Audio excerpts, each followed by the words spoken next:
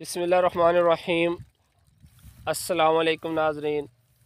मैं हूँ मोहम्मद बिलाल। आप देख रहे हैं Bilal Kanju official YouTube channel. नाजरीन, तकरीबन 10-12 दिन हो गए इस फ़सल को पानी लगाए हुए। ये वही गंदम की फ़सल है जो मैंने आपको बताया कि 24 अक्टूबर को काश्त की थी। और इसमें दो बोरी नाइट्रोफास और दो बोरी यूरिया। इसके अलावा एक के लीफ का स्प्रे किया है। इसके अलावा और कोई फंजीसाइड कोई और माइक्रो न्यूट्रिएंट्स वगैरह कुछ भी इस्तेमाल नहीं किया। तो ये पिछली जो फ़सल थी उसमें तीन किलो बोरान डाला था मकई के अंदर ना नीचे ज़मीन में तो इस दफ़ा इसमें इस्तेमाल नहीं किया। तो ये आपको नज़र आ रहा है, अभी कोई हो गए हैं तकरीबन दस बारह दिन पानी लगाए हुए आखिरी पानी। तो उसके बाद ये कुछ गंदम गिरी है। तो यहाँ आप देख सकते हैं कि ये अपनी तरफ़ से पूरी कोशिश करती है। कि जो इसका रोशनी हासिल करने वाला हिस्सा है जहाँ पर रोशनी आनी चाहिए लाजमी वो सिरा थोड़ा सा देखे आप उठाता है बाद में ना कुछ स्टैंड पकड़ लेती है।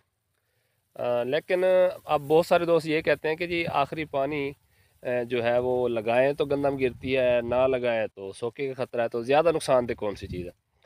तो मेरे भाई अगर तो जिस तरह की ये हालत आपको नज़र आ रही है अब देखें इसके ऑनस हैं या जो सिट्टा है वो उसका कलर जो है वो हल्का हल्का ब्राउन हो चुका है चेंज हो चुका है। तो अभी दस दिन पहले से पानी लगाया था। अब इससे जो गंदम गिरी है, उससे वो नुकसान नहीं होता, जो पानी ना लगाने से होता है। जब दाना जो है वो दूधिया हालत में होता है ज़मीन की साथ को भी देखना पड़ता है कि पहले कितने दिन पहले पानी लगाया था। और इसके अलावा जो है, आपके जो है वो वक्त काश्त क्या है? अब ये चौबीस अक्टूबर की काश्त थी तो साफ़ ज़रा इसका तो ये आखिरी पानी बनता है, लेकिन जो दस पंद्रह नवंबर को काश्त हुई हैं उन्हें ये जो अब मार्च के जो दो हफ़्ते हैं, ये अहम है, इस दौरान ही आपने पानी लगाने का फ़ैसला करना है और ज़मीनी साथ पर भी डिपेंड करता है। तो अब इससे ये जो गंदम गिरी है, इसकी खैर है, अगर इस स्टेज पर पानी ना लगता तो जैसे आप टेम्परेचर बढ़ रहा है, क्योंकि अभी तो इसे टाइम लेना है और पकने में तो उससे ज़्यादा नुकसान होना था। तो इसलिए आप देख सकते हैं कि इसे जब पानी लगा है, ये गिरी भी है तो उसके बाद आप देखें, जो इसका ऊपर वाला हिस्सा है यानी जो आखिरी नोड है तकरीबन, वो दोबारा खड़ा हो गया देखिए ऊपर क्या कमाल सलाहियत रखी है अपनी पैदा करदा मखलूक में। ये देखें जी। ये देखें। ये वाला। ये देखें जी, जहाँ से गंदम मुड़ी है सुबहान अल्लाह जी, ये देखें। जहाँ से ये गिरी है ना तो ये जो नोड था, ये यहाँ से मुड़ गया है। ये टूटी नहीं है अभी। तो ये इसने वहाँ से ऊपर उठना शुरू कर दिया रोशनी की तलाश में।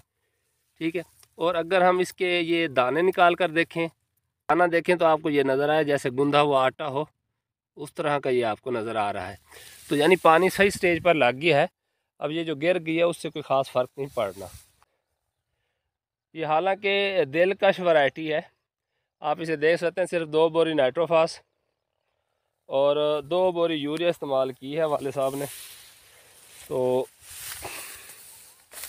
बाकी एक अटलांटा सुपर का स्प्रे किया था। अब देखें पैदावार कितनी आती है। तो इसका काद भी माशाल्लाह ठीक है, लेकिन ये गिरी भी है। तकरीबन ये सारी टुकड़ियाँ जो है वो आपको गिरी हुई नज़र आती हैं, उसके बाद ये खड़े हो चुके हैं।